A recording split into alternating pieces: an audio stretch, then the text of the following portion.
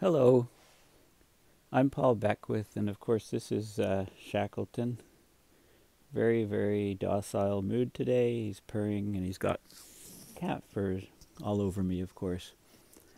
So, today I'm going to talk about some very significant aspects of the coronavirus uh, pandemic.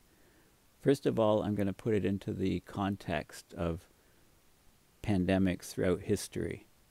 So I'll talk about, you know, um, what's happened in the in the past, what the largest pandemics were, you know, all the way from the Black Death or the so-called bubonic plague, running from 1347 to 1351, that killed an estimated 200 million people, which is about half of the global population at that at the time when it hit.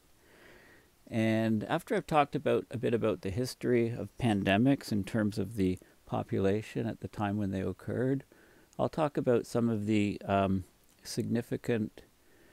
Um, I'll, I'll try to address the question as to whether the COVID 19 pandemic is going to be seasonal. In other words, will it decrease in intensity as the northern hemisphere goes into summer, and that would probably lead to a corresponding increase in intensity in the southern hemisphere. So there's been a number of papers that are discussing that.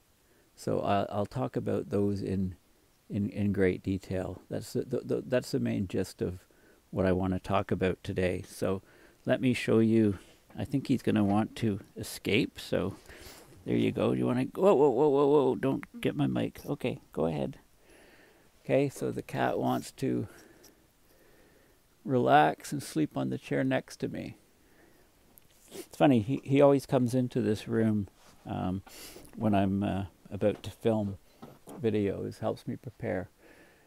Okay, so first of all, um, you're probably familiar with my website, paulbeckwith.net. So uh, check it out and please consider donating uh, to support my research on videos. And I will get to more climate related videos, but um, right now, of course, the virus and how it's um, affecting different countries is first and foremost on my mind, as I'm sure it is on your mind.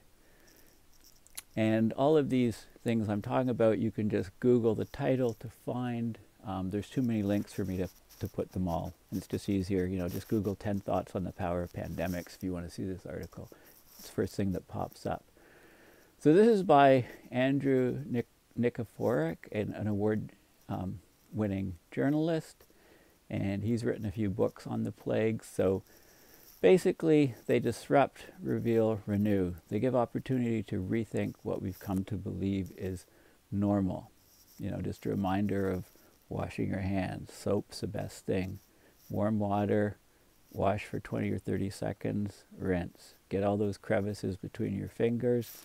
The soap is a molecule, a polar molecule that actually pulls apart the virus. It annihilates the virus. It is the microbes who will have the last word. This is a quote by Louis Pasteur. Of course, pasteurized milk, penicillin, in 2018, the Commission on Creating a Global Health Risk Framework for the Future, which is the U.S. panel of health experts, they warned that the conditions for infectious disease emergence and contagion are more dangerous than ever due to overpopulation, the increase to urbanization, people going into the cities from, from rural areas, industrial livestock, livestock um, and mobility of people, flying all over the world, the ability to spread things extremely quickly. This panel in 2016, they estimated that there was a 20% chance that four pandemics could unsettle the globe over the next century. Well, four years later, you know, it looks like we're in the first, you know, one. And, you know, I've argued in previous videos that climate change is leading to higher and higher risks of plagues. A Nobel Prize winning biologist, Joshua Lederberg, warned more than a decade ago that the world had entered a disquieting era of plague making. Okay, we've crowded together a hotbed of opportunity for infectious agents to spread over a significant part of the population. Affluent, mobile people, ready and willing and able to carry affliction all over the world within 24 hours' notice. This condensation, sort of a compression of people, stratification, and mobility is unique, defining us as a very different species from what we were 100 years ago. You know, these, um, these pandemics, they're like tsunamis or bombs. They can wash over continents, changing everything. Okay, or they could blow up fossilized old institutions, destabilize political dynasties. They've stopped wars, they've started them in the past, they've rattled, even collapsed civilizations. They're basically in enormous biological recalibrations, if you like. Okay, so they're a critical and immutable social force that shape our lives. They paralyze and disrupt, they reveal and renew. So, 10 characteristics that he's put um, that mostly the global economy and the elites, the politicians, people in charge, power structures have mostly ignored about the energy of pandemics. Pandem- one, pandemics are one of the four biblical horsemen that give meaning to our lives and shape human history. Whether or not you believe um, in the Bible and its teachings, it's a historical document um, you know, it's sort of it's how people thought about things at the time it was written. So the four horsemen, the white horse represents the word of truth, God or truth, if you're not religious. The red horse is the power of the state, the country over peace and war. The black horse, for good and ill, commands the busts and booms of economics and famine. The fourth horseman is the microbial life and pestilence. Okay? Um, he wrote a book called The Fourth Horseman 30 years ago. Okay, we don't like to think that we're part of history anymore, but we are walking memories of past plagues. Of course, our lives, what we have now, are shaped by everything that's happened in the past. Pandemics may appear as random events, but they're really the product of cultivated vulnerabilities by different citizen, civilizations at different times. So there's nothing random about this. And, you know, just four years ago, this commission gave, you know, high odds for there being something, you know, soon. So we have a long history, humanity, of provoking plagues with overcrowding, dirty water, deforestation, poor nutrition, ruinous poverty, soil erosion, and novel agricultural practices.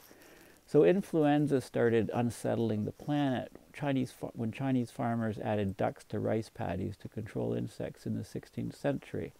This put avian or bird-based viruses in close proximity to pigs, which helped the, the virus jump to humans. So-called non-pharmaceutical inventions such as hand washing, social isolation, and the banning of crowds can dramatically slow the spread of a viral plague. Vaccines and drugs, we can't count on them.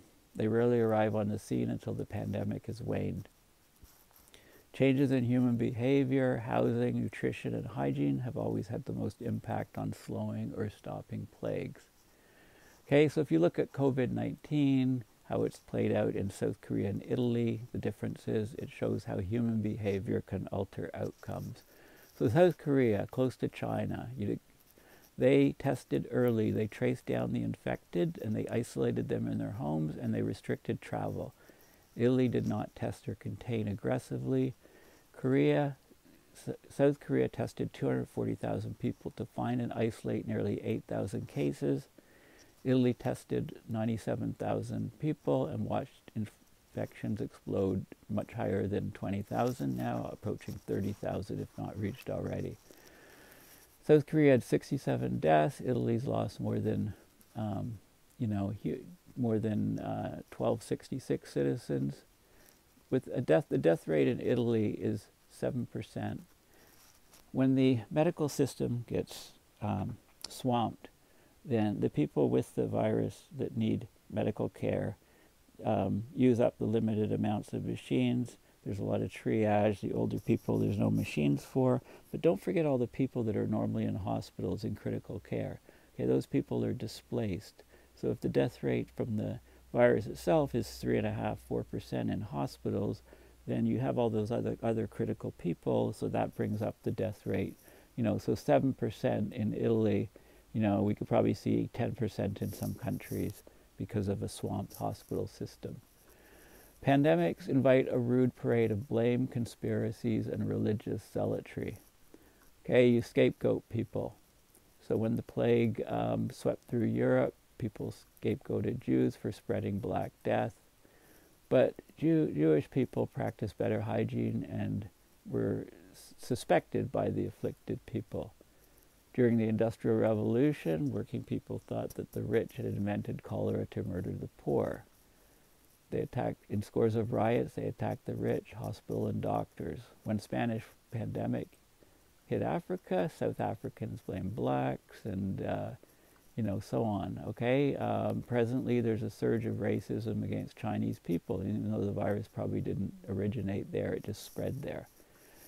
Okay, um, so it's an excellent article. Global trade has always played a formidable role in disease exchanges. So, back in, in the 13th century Europe, the Silk Road Chinese trade brought rats and fleas to Europe. There was a demographic collapse. One in four people died. Slave trade had bombarded two continents with epidemics. Cholera followed European trade routes to the slums of major cities from the Ganges Delta. Global steamship travel carried influenza around the world, spread the so called Spanish flu you know, now we've got uh, air travel. You can bring things from one place to another every 20, you know, within a day or so. The Black Death killed so many people that it changed society. They, people had to increase wages, decrease rents.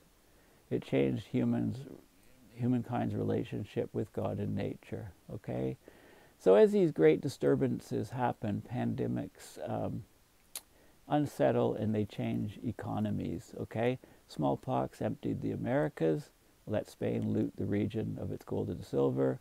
Smallpox killed off the entire, basically, First Nations on the plains. Spanish flu killed 50 million people, up to 100 million, and erased 5% of global uh, gross domestic production, and so on. It goes on and on. Basically, pandemics rudely outline weaknesses and faults in political leadership. Good leaders lessen their impacts, think um, South Korea, incompetent leaders add to the gravity. I think, unfortunately, the U.S. will be one of the worst places in the world. Hopefully, I'm proven wrong. Um, President Woodrow Wilson in the U.S. was so focused on the First World War that he repeated, ignored repeated warnings about influenza and its impact on troop movements.